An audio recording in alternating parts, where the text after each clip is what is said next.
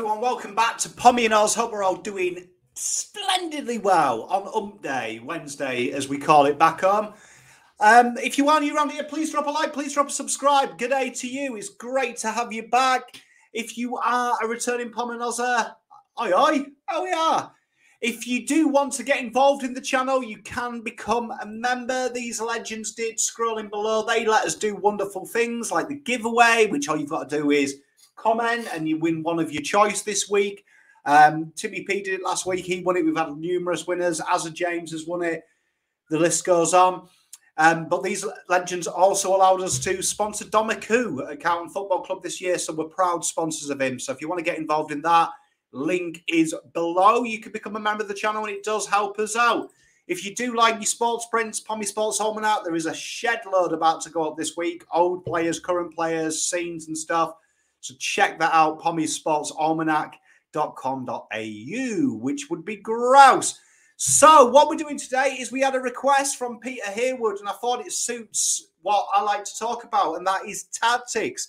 And we're going to talk about how tactics are so important and I think the least talked about part of the AFL. And I thought a really good example was a suggestion from him of the grand final and saw how Melbourne alleviated the doggies' threat. So let's get into it. So the first thing we're going to talk about is the forward half. And this is really poignant for Carlton because, in my opinion, Carlton are one of the worst sides, and they are statistically at this facet of the game. But what did they do? Now, what we know about the doggies, and if you watch that final, it was quite obvious.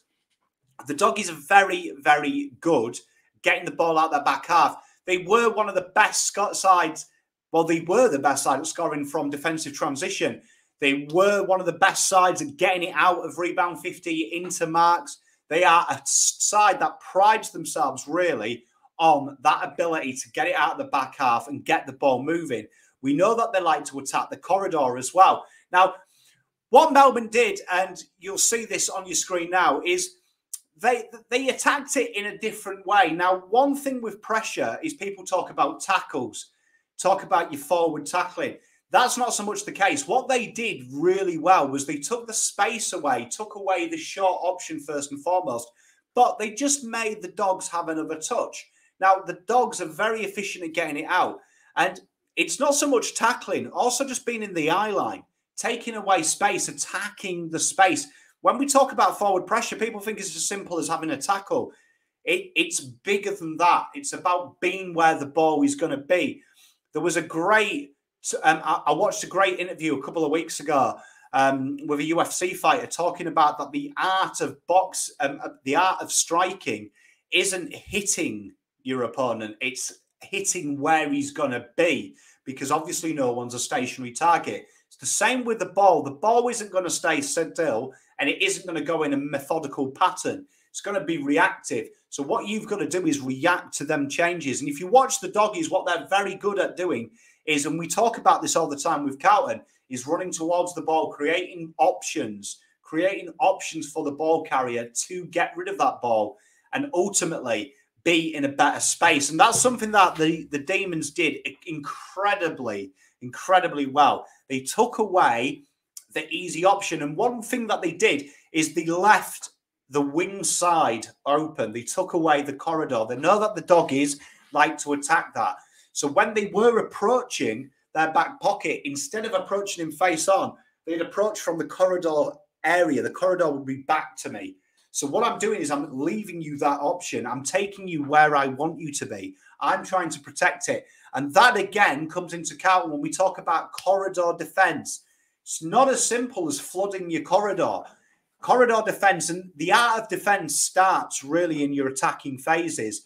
That is a really good thing. And that is what the Demons did, particularly in the second half, incredibly well, making them have that extra touch, making them go to the wider side of the ground, taking away their strengths and then ultimately playing to where they wanted to do.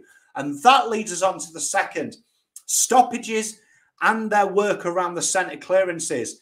It is no surprise when you look at them, at the Demons, and at the Doggies, is they're one of the best sides in the competition. Well, they were the best at stoppage scoring. They were phenomenal. Um, the clearance ability was really good as well. This was really a case of two elite midfields going at it. Now, you saw in the first half, it was kind of stymied. Everyone played an extra behind the ball. They were fearful of the run, they were fearful of their ability to hit targets. And what changed in this around stoppages was creating the outlet. Now, one thing that Melbourne did is Luke Jackson took over the sole Ruck duties and they moved Gawn forward. Now, we'll talk a bit more about Gawn there, but it created the outlet for them front and centre, first and foremost, in the forward 50. They had that extra body. But what they did as well, which was quite, quite, I would say, a dangerous roll of the dice, is they flooded the backside of all contests in stoppages, which allowed them to protect that run, but also be at the fall of the ball and effectively create another stoppage. And you saw that what their rucks did was just was, was just tap it down in front of them. Just tap it down in front of them, and at the fall of the ball, be there. Viney was exceptional in this role for them.